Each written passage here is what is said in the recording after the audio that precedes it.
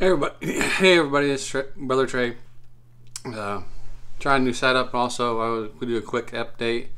Um, we made it to South Carolina on March 26th. We were able to sign and close on our house early in Illinois, so we were able to leave a little bit sooner than we thought, and God blessed us that way. And then God uh, created ways for us to have employment already so quickly um, down here in South Carolina. Uh, we currently reside in Mauldin, uh, Mauldin, South Carolina. Um, thank you to those who've been praying for us and, supp- and have supported us. Um, please continue to do so.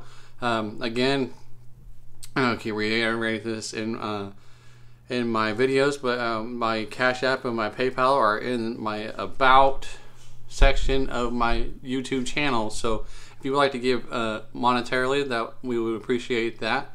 Um, we are expecting uh, big and mighty things here in uh, in down here in South Carolina. So uh, if you would like to be a part of that, please continue to pray for us. Um, donate uh, if you if you if you feel led to.